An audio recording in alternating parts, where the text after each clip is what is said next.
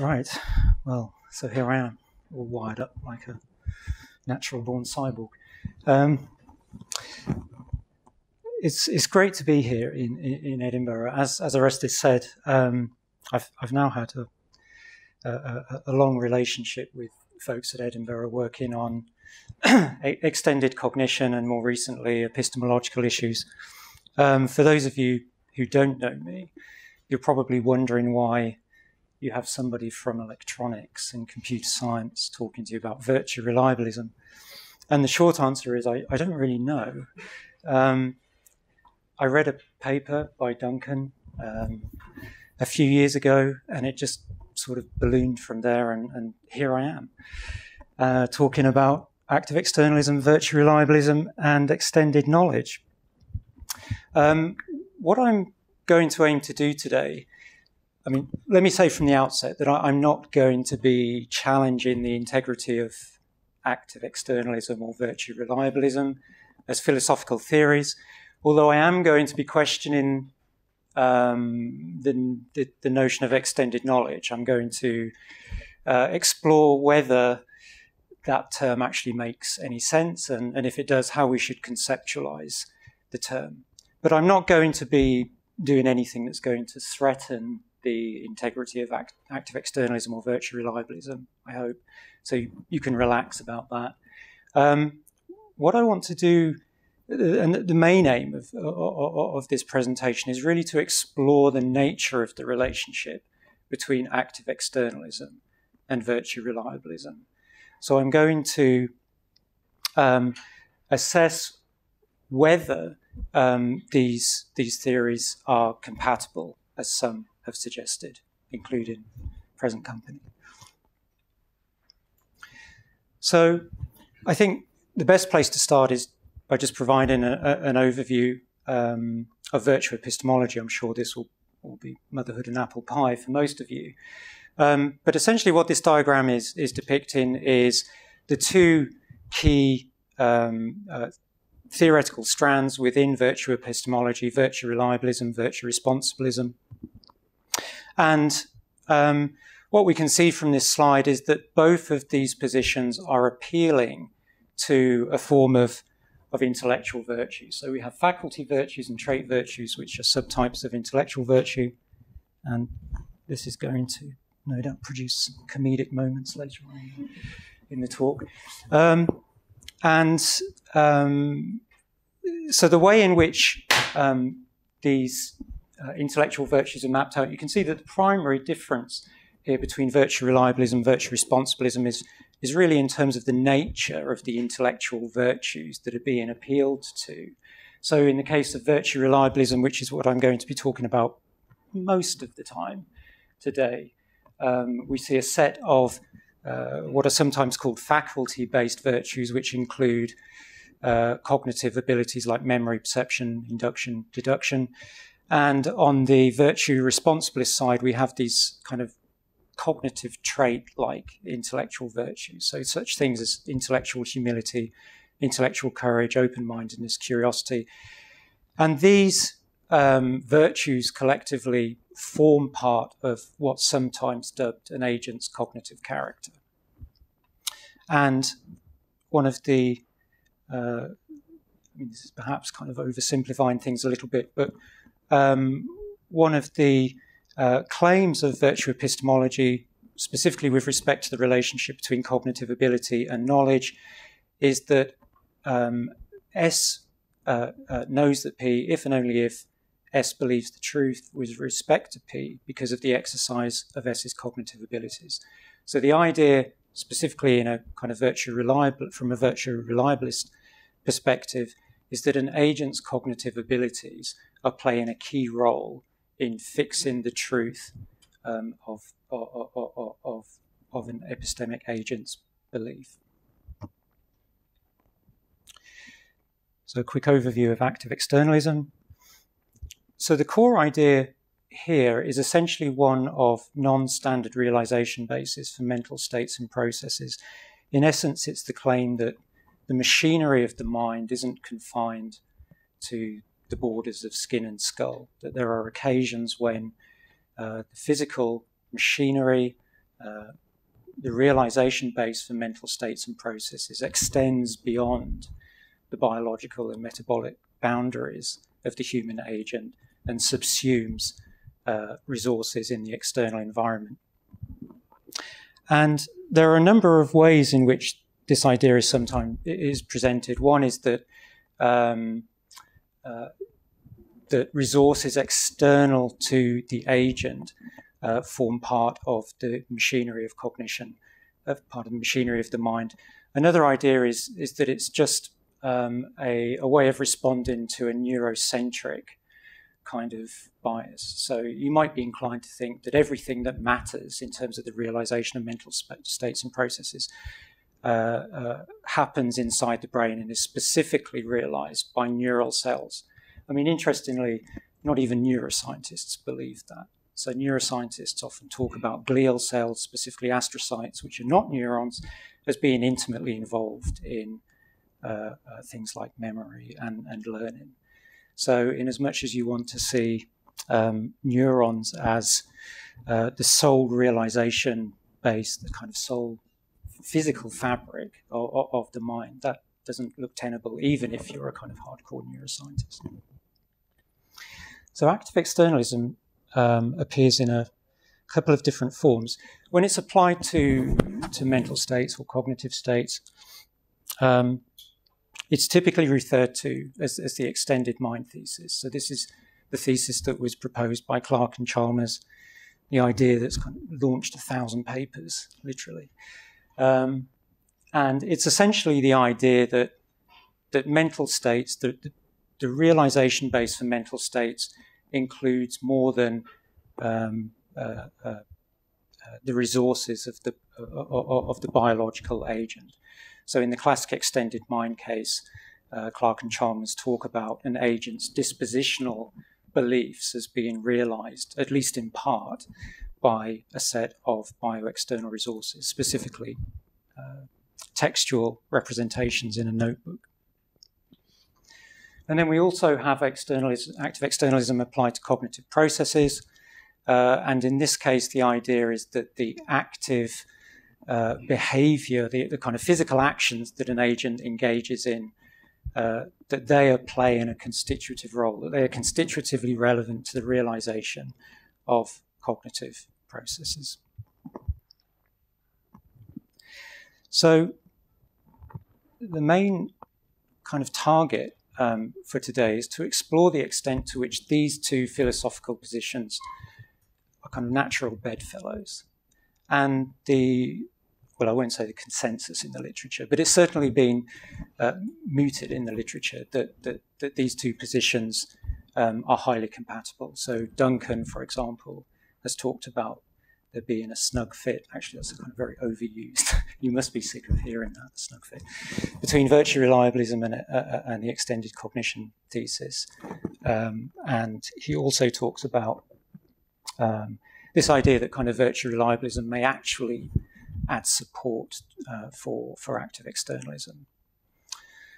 And then more recently, um, Orestis uh, and Duncan have explored this idea that by combining virtue reliabilism with active externalism, we might be able to achieve a, a form of kind of happy matrimonial union between virtue epistemology and social epistemology. So we might be able to, to provide a virtue epistemological account of what's called group or uh, collective knowledge.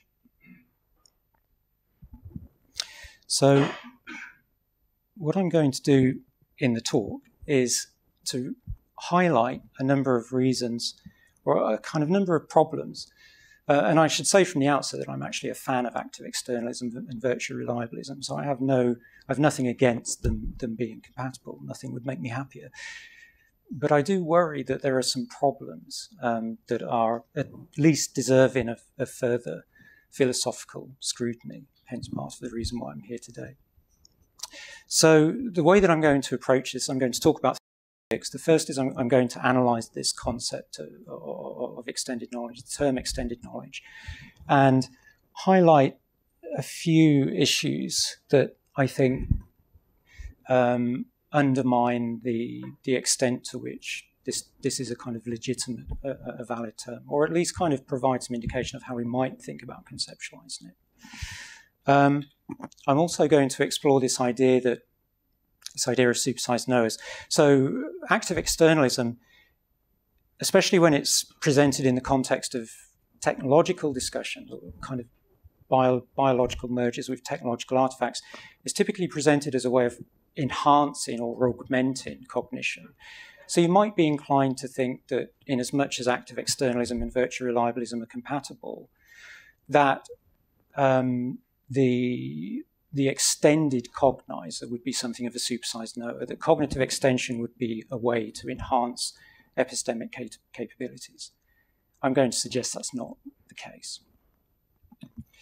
And then finally, I'm going to look at collective knowledge and I'm going to uh, uh, explore the nature of the relationship between individual vice and collective virtue. And I'm going to hopefully provide enough material to make us question when a vice, an epistemic vice, really does count as an epistemic vice. How much time have I got, by the way? So,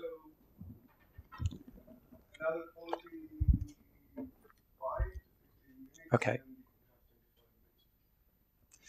All right. Okay, so first of all, extended knowledge. Um, so I'm not going to kind of present the, the, classical extended mind argument in detail. Probably sick of hearing about that. But um, suffice to say, Clark and Chalmers um, presented this extended mind case. Um, Otto and Inga. Inga is a neurologically normal, healthy individual. Otto is a neurologically impaired individual who's equipped with a notebook. And Clark and Chalmers talk about the um, the way in which, when Inga wants to go to the Museum of Modern Art, she accesses her biological memory and she remembers it's on 53rd Street and off she goes and, to the museum. And something similar happens in the case of Otto, except because he has this bio uh, memory impairment, he consults his notebook in, instead, and within the notebook is inscribed the location of the Museum of Modern Art. So when he wants to go to the Museum of Modern Art, he consults his notebook, tells him it's on 53rd Street, and that's where he goes. So Clark and Chalmers talk about the Otto case as being a case of extended dispositional belief. They say that even before uh, Otto accesses his notebook, it makes sense to say that he believed that the Museum of Modern Art is on 53rd Street. And indeed, in as much as that's true, then it, you might feel inclined to say that he knows that it's on 53rd Street, even before he's, he's accessed the notebook.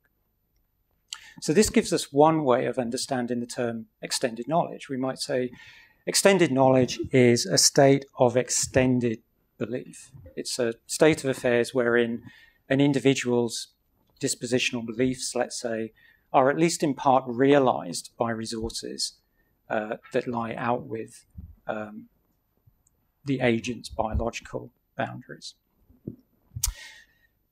Now, importantly, and this will, be, this will become the importance of this will become relevant later on. Um, Clark and Chalmers discuss a number of criteria that have to be satisfied in order uh, for cognitive extension to take place. So they talk about these criteria of availability, accessibility, and trust, and I'll come back to those uh, in a few slides. So, so here we have this kind of idea that one way to make sense of the, the term extended knowledge is to see it as a, a form of extended dispositional belief, a belief that, whose supervenience base extends beyond the, the metabolic borders of the, of the individual. And if we just remind ourselves what the core kind of claim of virtue reliabilism is, virtue reliabilism claims that knowledge uh, is the product of belief forming processes that reflect the exercise of cognitive abilities. So that suggests that the, the relevant abilities must be those that led to the creation of the extended dispositional belief, right? And I guess in the, the classic Otto case, when Otto has his notebook, you might say, well, that's sort of okay because Otto's the one busily scribbling in his notebook, and he's the one that benefits from all his orthographic endeavors. endeavors. But in a lot of extended mind cases, that doesn't quite work. In particular, in my own field, uh, in web and internet science, it doesn't really seem to work at all.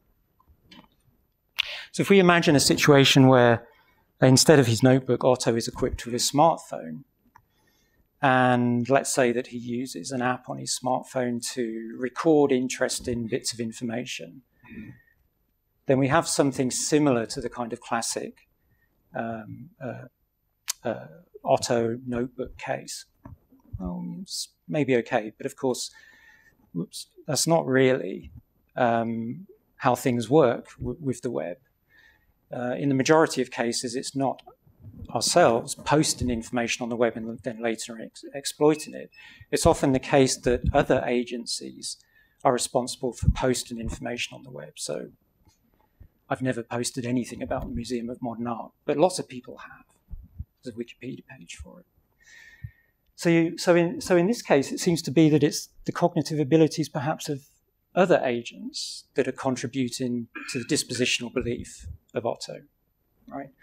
Although even that doesn't work because a lot of the information content nowadays is automatically generated by machines that don't really qualify as cognitive agents.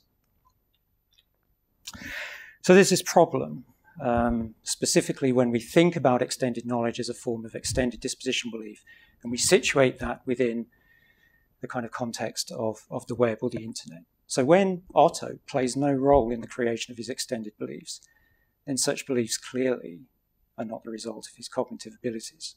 So that ain't going to work.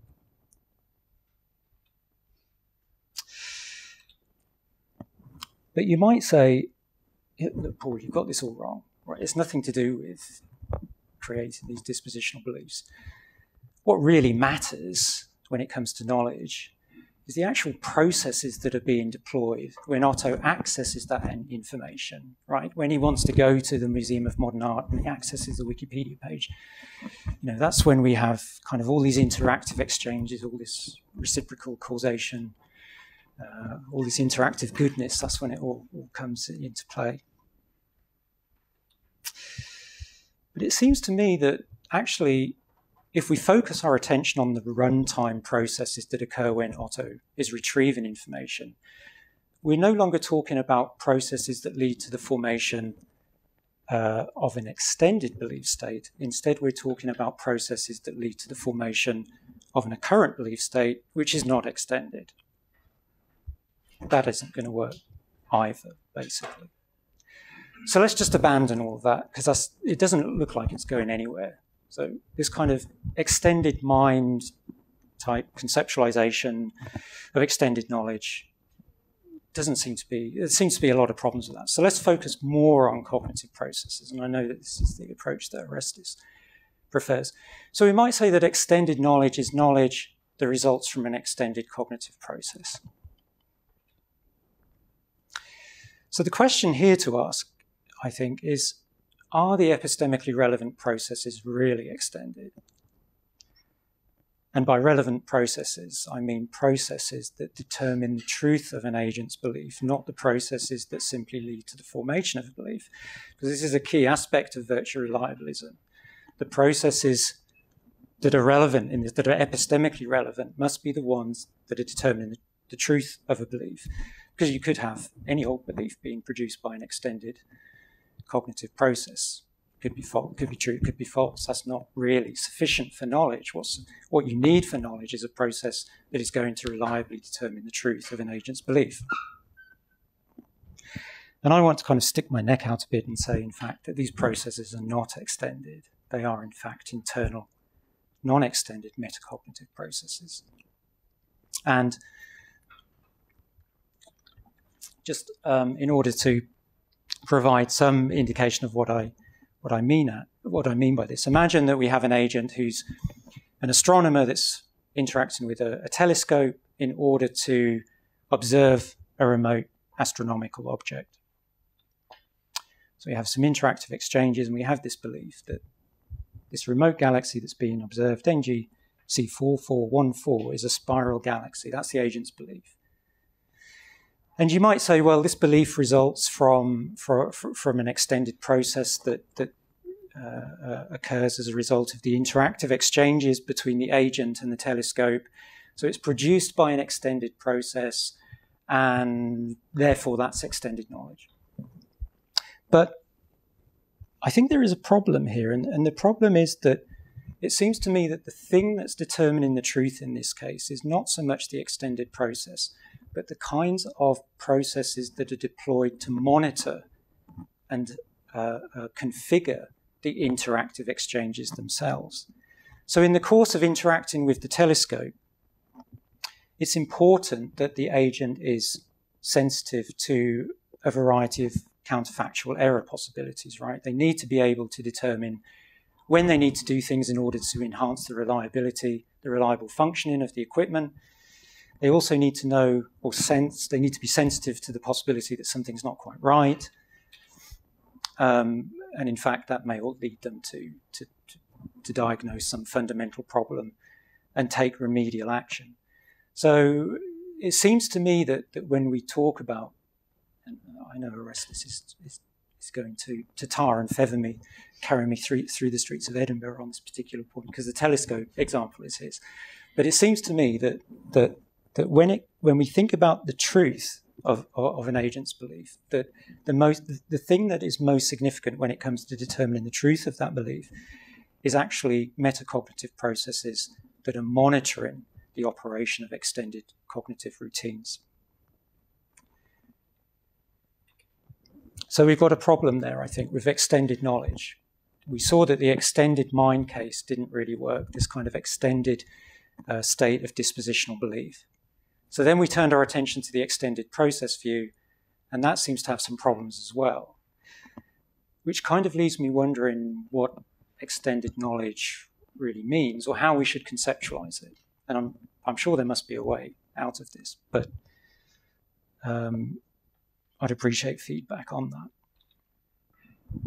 So so now I'm going to to switch attention and, and, and look at this issue of supersized knowers. So as, as I said at the outset, discussions of active externalism they typically take this kind of positive, upbeat approach that um, the extended cognizer um, is transformed into a, a, kind of superhuman, supersized mind, as Andy Clark would call it, supersized cognizer, rather.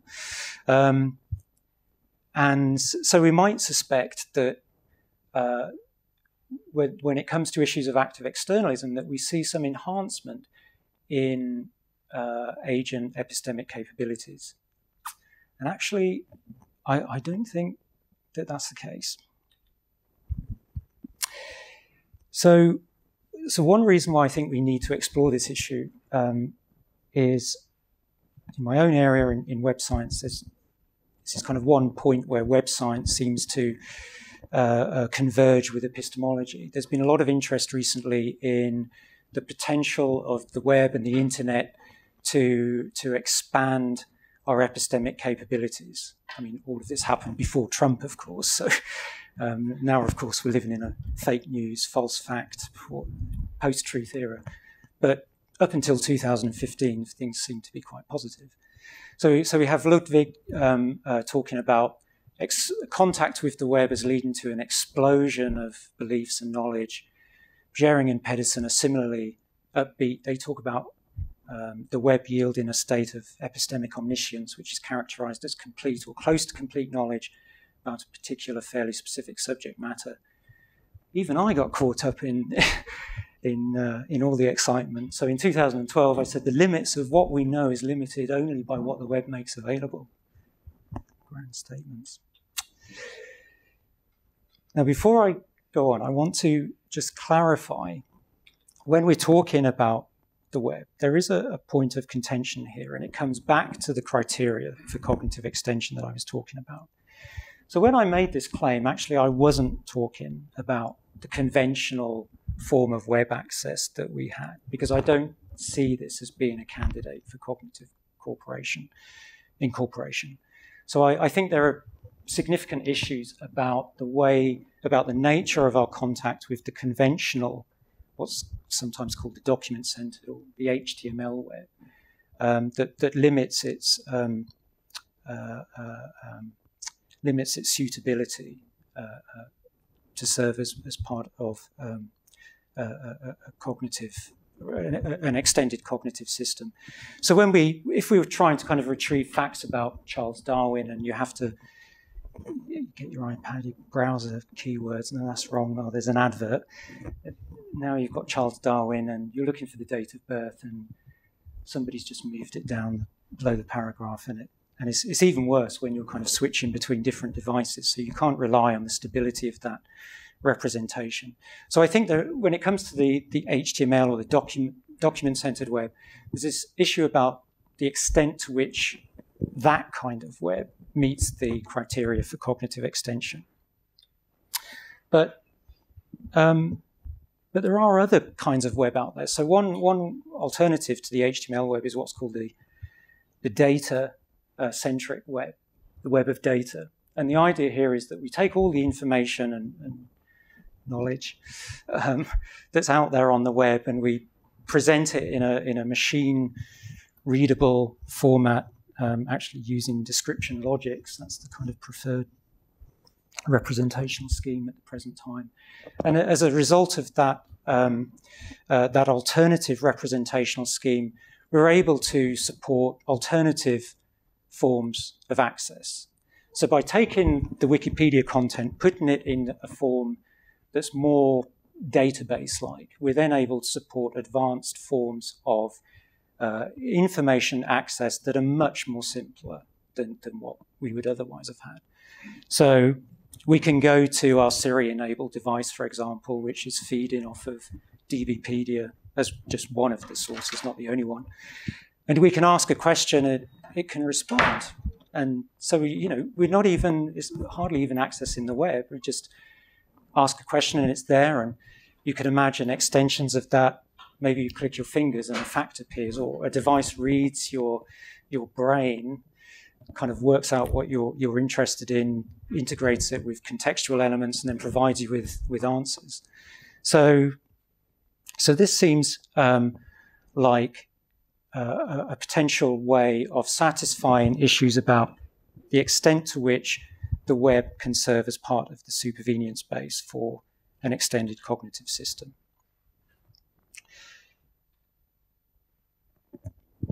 Um, another kind of aspect of, of recent research that's relevant to issues of cognitive extension and uh, and our epistemic standing is, is the Internet of Things. So at the moment, computer scientists are, are, are, attempting to implement schemes that enable casual users to effectively program the environment. So, one example, and this is a real world example. Um, uh, so, there is a, a website called ifttt.com uh, that will enable you to uh, to download loads of kind of applets that you can use to control Internet of Things devices. Suppose you wanted to implement a rule so that whenever the the International Space Station was moving overhead, then a light bulb would, would, would light up. Um, so you can actually program this relatively simply. Um, you have to go out and buy a Philips Hue light bulb. It doesn't have to be a light bulb, it can be anything. It could be a text on your phone or a bell rings or something vibrates, whatever. Um, but you can set up these rules, you can customize them, tailor, tailor them to your own needs, concerns, and interests. And then you might say, well, that sort of configuration alters the epistemic structure of the environment that you're embedded in, because if you can kind of customize and tailor the, the environment in ways that, in epistemically significant ways, then potentially your your own epistemic capabilities enhanced. So I know whenever the the, the International Space Station goes overhead because my light bulb turns pink. So everything up until this point seems really positive, but now it all goes downhill. Um, so the first problem is, is what's called truth bias. So the truth bias is based on, on, on issues of fluency, and fluency is characterized as the subjective ease of accessing particular bodies of information. Now, this is relevant to one of the criteria for extended cognition, particularly accessibility. So Clark and Chalmers claim that what makes a resource apt for cognitive incorporation is the fact that we're able to enjoy this uh, uh, uh, we have this kind of fast, fluid, easy interaction with it, that the information that's provided by some, some resources is easily accessible. But um, in psychology, I mean, this is a, this is one example, but but Al, Alter and Oppenheim is probably the best one. They talk about this truth bias effect. So, so the idea is that a, the subjective estimate of uh, of the uh, the veracity of, of some body of external information is judged relative to the subjective ease with which it's processed. So the the easier it is to process external information, the more likely you are to regard it as true as a relative to information that's quite difficult to access. So this is a problem. So if let's just take the web as an example. Imagine that, that we develop technologies that put the totality of human knowledge in the palm of your hand. You can access that as easy as you can access information from biomemory. So, based on Clark and Chalmers' kind of criteria, that seems to um, uh, uh, speak in favor of, of, of, cognitive extension. So, we've got easy access, information is very accessible, so therefore we've, we can enjoy this um, massive expansion in our cognitive machinery. But because of the truth bias, that does not mean that we are an intellectually or epistemically virtuous agent because we're now susceptible to a bias specifically because of the way in which the properties of technology, information technologies, have been engineered or set up. Here's another problem, which goes by the name of earned dogmatism. So, this problem is based around the feeling of knowing. Uh, so, this is the kind of subjective sense, that kind of warm, fuzzy feeling you have when you feel you really do genuinely know something. Personally, I've never felt it, but apparently some have. And we know that, that this is tied to the availability and accessibility of information. So the, the idea is that the more available and accessible information is, the more likely you are to, uh, to feel that you know it. And the evidence for this comes from a number of studies.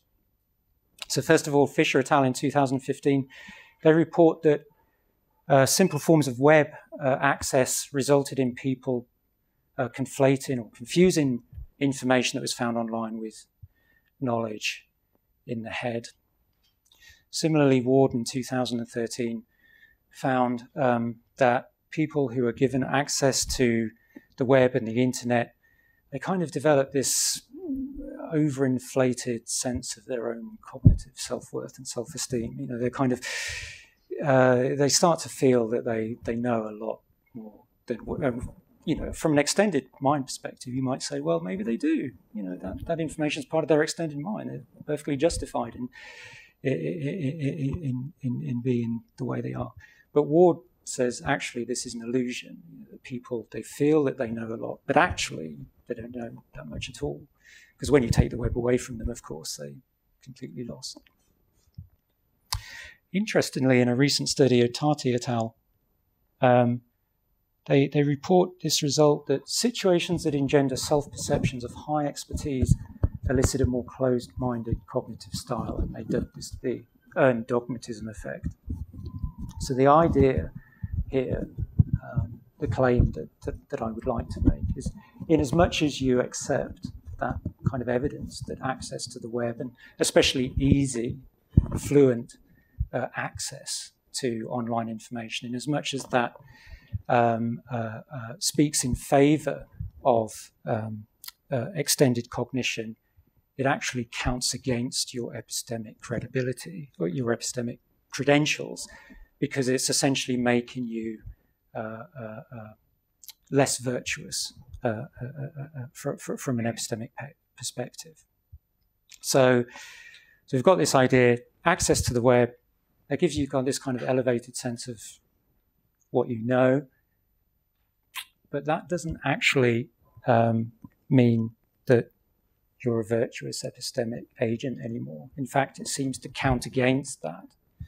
Right? It seems to make you more dogmatic, and no one, I assume, in virtue epistemology would say being more dogmatic is a good thing from an epistemic perspective. So seems to be a, a problem. So, I mean, those are just two examples. There are others, but I won't kind of bore you with those. But so I've so I've glossed this as the extended cognizer versus extended knower problem, and this problem is essentially the idea that the properties that work to ensure that an external resource can be treated as a candidate for cognitive incorporation are also, at least sometimes, the very same properties that work to undermine or endanger the positive epistemic standing of a technologically extended agent. And actually, this tension comes in a number of different forms. So remember, you know, all of this, the criteria, the web, and linked data, and how wonderful that is in terms of Siri and all that stuff. Um, and of course, you've got your iPad there, but you've also got plethora of, of new devices that are, are coming along. And certainly, I, I spoke very positively of these devices in terms of uh, satisfying the criteria for cognitive extension and thus leading to a state of affairs in which we're all going to be walking around wearing, wearing our minds on the outside of our skulls. Um, but actually, this causes a problem because a lot of these devices, the interfaces that they present, and they're kind of drawing from these distributed databases and presenting information in these kind of very simple, straightforward ways. That's all very good for extended cognition, I suggest, but it, it ain't so good for epistemic evaluation. So when you ask Siri a question, you've no idea where Siri's getting that information from. It could be anywhere. It could be from Trump's Twitter account, for all you know. Um, so there's an issue about provenance. You don't know what provenance is.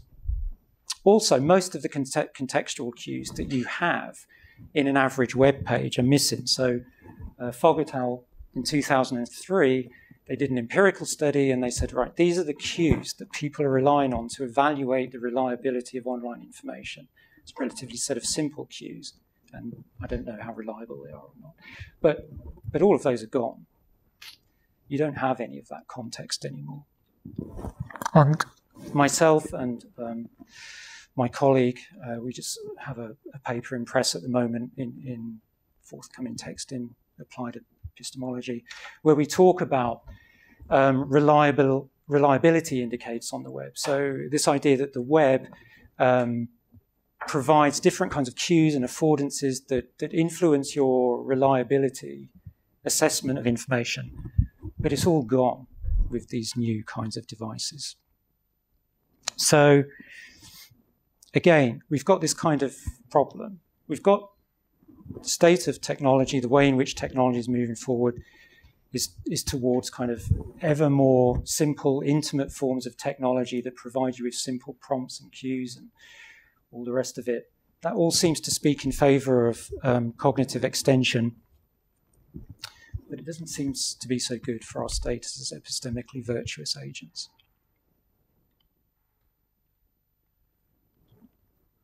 So, final. Have I got till half past? Yeah. Okay. Um, so, so the final uh, topic that I want to cover, cover is collective knowledge. And the idea, the notion of socio-epistemic systems uh, comes into uh, focus at this point. So, collective knowledge, what does that mean? So, it's generally um, defined as knowledge that results from a, from a form of socially distributed processing or collective or distributed cognizing. Um, so, collective knowledge is knowledge that results from uh, the informational exchanges that occur between multi, multiple agents, essentially.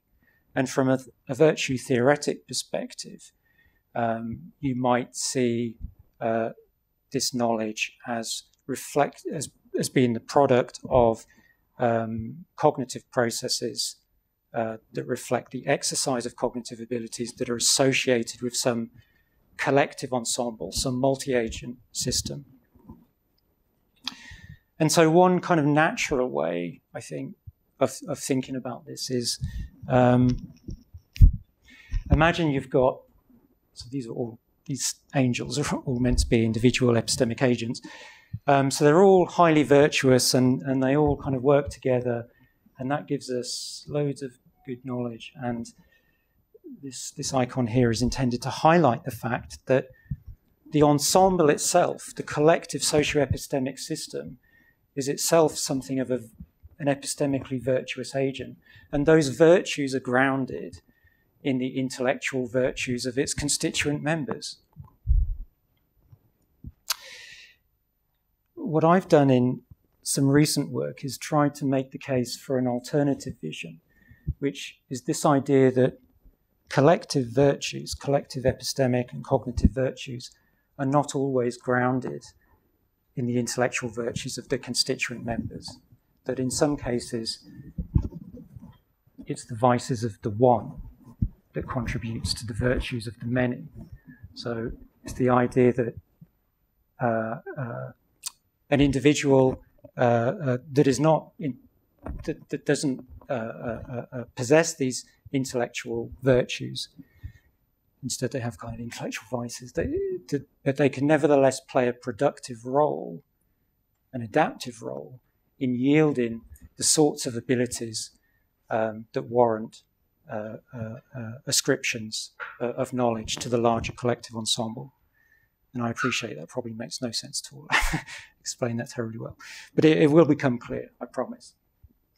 So I, have dubbed this phenomenon Mandevillian intelligence based on the work of Bernard Mandeville, who was a Dutch poet, economist, uh, and philosopher an era when people had a lot more time to kind of do lots of different things, I think. Um, his, his kind of idea that, I mean, he's known for a number of things, but one of the things he's known for in, in economics, at least, is this idea that private vice can serve a, a, a, a, public good. So we should kind of accept that vice is just part of the, uh, the makeup of society. And when we transpose this idea to the, the cognitive realm, we end up with this definition of Mandevillian intelligence. So, Mandevillian intelligence is the idea that the cognitive and epistemic properties that are typically seen as shortcomings, limitations, biases, we might gloss as vices, at the individual level, level of individual agents, can on occasion play a positive functional role in supporting the emergence of intelligent behavior at the collective level.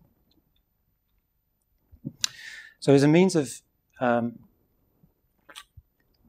providing a gentle introduction to this idea.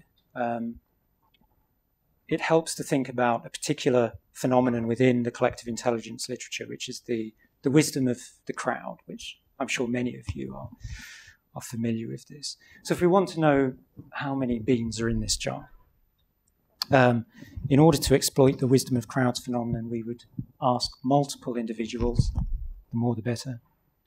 We get them to make a guess and then we, um, we, we aggregate those guesses. We take the statistical average, for example, and that kind of summary statistic gives us a surprisingly reliable, or not necessarily exact, but kind of you know reasonably reliable uh, estimate of the actual number of beans in the jar.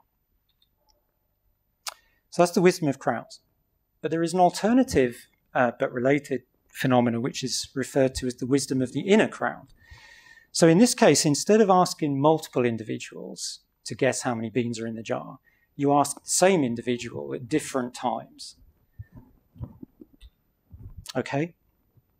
And this wouldn't work with me because I would have eaten the beans by, by the time they got to the third, third guess. What's interesting about this wisdom of inner crowds phenomenon is that surprisingly, um, individuals with uh, poorer memories uh, tend to perform better. So here we've got an example of a state of affairs where, when it comes to some seemingly epistemically relevant ability, we've got something that might in another situation look like a vice starting to look a bit more like a virtue. It's better to have uh, a weaker or poorer level of performance with respect to a cognitive ability in order to make more accurate judgments about some phenomenon in the world. Now, that, of course, isn't um, an example of collective intelligence. Mandevillian intelligence is all about collective intelligence. but we do see examples of this as well um, when it comes to the behavior of, uh, when it comes to collective behavior um, uh, uh, and social systems. So Mandeville, uh, Bernard Mandeville, when he was talking about um, private vice and public virtue, he was, he was, actually situating this in the context of a discussion about bees. So um, I chose an example from the literature on swarm intelligence, uh, specifically bee waggle dance behavior. And as some of you will be aware, bees communicate the location of a nectar source to other bees in the hive by engaging in this dance. They move in a figure of eight and wiggle their bottom, and the other bees pay attention. And the, the signal essentially is um, a vert- the vertical uh, orientation within the hive indicates the direction of the sun, and the bee uh, does this kind of waggle uh, uh uh, dance in the middle of the figure of eight, and the angular orientation indicates that the indicates the direction that the bees, the foraging bees, the other bees in the hive should travel uh, relative to the sun in order to find the the, the source of. Just accept that the bees do a waggle, bees do a waggle dance, and that, that communicates information about where they need to go. But interestingly. Um, there's some imprecision in that waggle dance. So there's some noise. And that looks a bit odd. And it's not that the bee that's communicating the, the direction can't be precise, because the farther away the nectar source is, the more precise they become. The closer it is, the more noisy it is. So that looks a bit strange. But actually, it turns out that, and this is one interpretation, um, not necessarily the correct one. But one interpretation of this imprecision is that it's actually playing a positive functional role. Because if you're a bee and you're communicating to, to your other bees, and importantly, remember you've got a lot of foraging assets available to you in a hive, you don't really want them to go to the exact same flower that you've just been to five minutes earlier and sucked all the nectar out of it. Instead, you want them to kind of go around that kind of region and where where there's one nectar source there's going to be others right? So you've got a lot of follower bees. Just send them off somewhere in that direction and hopefully they'll find lots of nectar sources um, that, that haven't been exploited yet so we have this idea that noise is sometimes good and actually this crops up a lot so uh, in the design of radar systems, for example, in the military, they actually inject noise into the system in order to improve the accuracy of target identification. In um, in sensory systems, the systems, biological sensory systems, are often designed to be noisy because it enhances the the, uh, the, the the ability to perceive signals. So there's something kind of interesting there. But you know, that's bees and they're, they're, lovely little creatures, but they don't really necessarily, they're not kind of the, the center point of attention for epistemologists. But actually, this kind of idea that, that, that some sort of suboptimal shortcoming limitation of the individual is playing some positive functional role in a larger systemic ensemble can actually be applied to the kinds of intellectual virtues that virtue epistemologists are interested in. So when it comes to dogmatism, for example, uh, Zollman has done some computer simulations with uh, uh, uh, computer agents and he manipulates computational analog to dogmatism. And actually, he finds that this has a positive functional role in mediating collective, better levels of collective epistemic performance um, because it prevents agents from prematurely converging on some suboptimal uh, solution. Um, and of course, I mean, actually, there's nothing kind of that novel here because Karl Popper was talking about the, the wonders of dogmatism long before Zollman. Um, of course, that, the discussion of dogmatism should perhaps kind of remind you what I said earlier about earned dogmatism. So when we looked at earned dogmatism in an individual context, in the context of individual forms of cognitive extension, it looked like a pretty bad thing. But now we've kind of got this idea that the more dogmatic you are, the better it may be, bad for you, bad for the individual, but it might be much better for the group that you're a part of. So that's dogmatism. Um, so the same is true when it comes to irrationality. So Nemeth and Wachtler uh, in 1983, they talk about the value of a committed but mistaken minority. And, and one way to understand this is to, um, to say, well, suppose you've got, I mean, let's take Alzheimer's disease, for example. The amyloid hypothesis is the dominant hypothesis at the moment. Suppose that's the only hypothesis. Everyone accepts that. That makes it very difficult then for newcomers. You, have got to pluck up the courage. You're going to be torn apart by your colleagues. Um, and no, nobody else is kind of presenting alternative ideas, so you better keep quiet. But actually, if you've got a few groups of scientists who are spouting crazy ideas, then you know one more idea isn't going to make that much difference. So you kind of have this idea that a committed minority, even if they're wrong, they're actually kind of helping the group uh, as a whole because in this case they're, they're kind of making it more acceptable for new ideas to emerge. There's another, more importantly, I think, um, and this is not something that Nemeth and Wachtler talk about, but we, you have this. So I, am talking to you about Mandevillian intelligence. Suppose that's all wrong. Mandevillian intelligence, load of rubbish.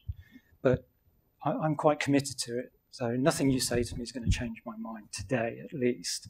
I'm going to keep spouting on about it. Well, you know, clearly I, I, I, rank myself as a scientist. That's not a proper way for a scientist to behave. So it seems that I'm far from being virtuous.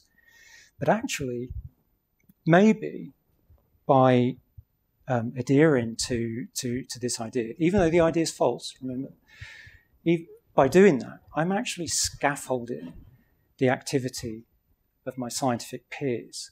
I'm kind of encouraging you to go away and write papers attacking me. And in doing so, um, uh, you are forced to kind of look at virtue epistemology in a whole new different way, and it, it, it advances, it, it contributes to philosophical progress, a form of progress that might not otherwise happened. So it's, it's like a kind of response to a devil's advocate. You have this idea of um, the proponent of a wrong idea contributing to scientific and philosophical advances by virtue of the fact that they're stimulating others to strengthen their own ideas, to protect them from, from, from this upstart from another discipline. And I think what that gives us is this kind of notion of epistemic tolerance. So as I get older, I'm increasingly inclined to think that tolerance is highly underrated. Um, so if you kind of if you can recognize that um, an individual that is epistemically, if you can recognize an individual as epistemically suboptimal, but you can also see that their shortcomings might be instrumental in yielding a form of collective success, you become more accepting of their vices. So, you know, you might want to go and cuddle a creationist, just suggesting or dinner date with Donald Trump.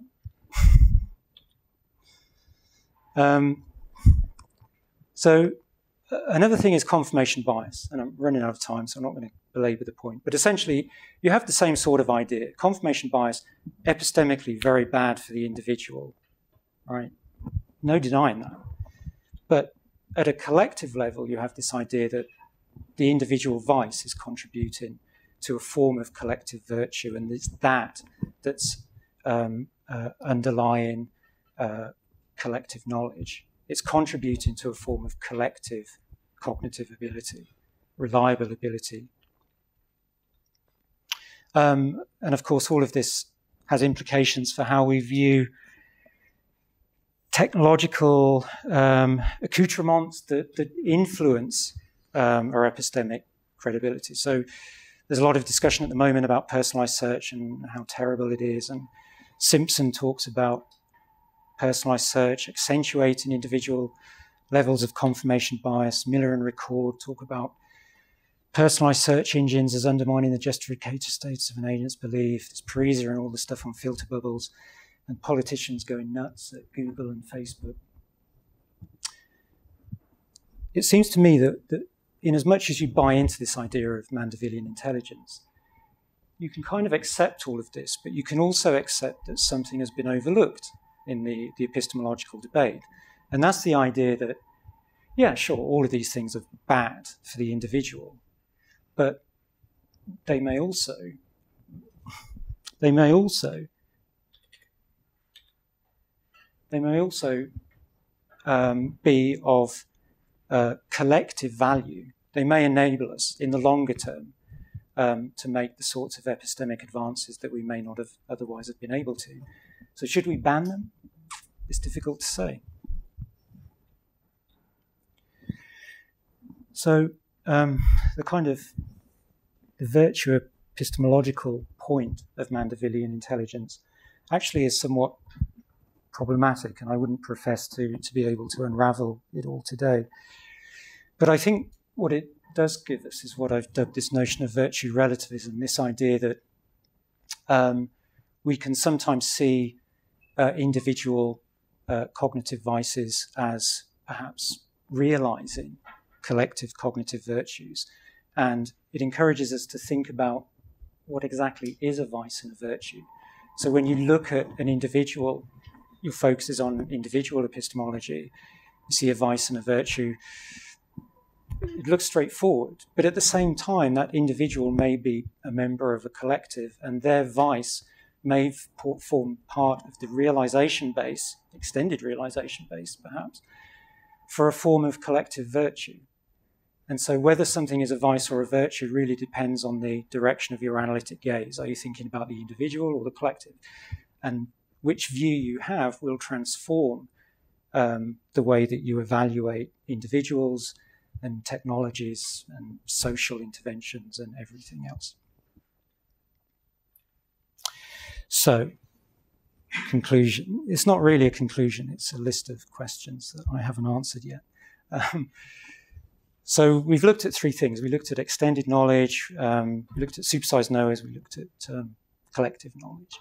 And based on on the kind of cursory analysis that I presented today, it should be clear that there are a number of questions that come to, to light. So, in the discussion on extended knowledge, we, we, we looked at different ways of conceptualizing extended knowledge, and we saw that all of them looked a little bit unsatisfactory. So, the kind of extended mind type conceptualization didn't seem to work.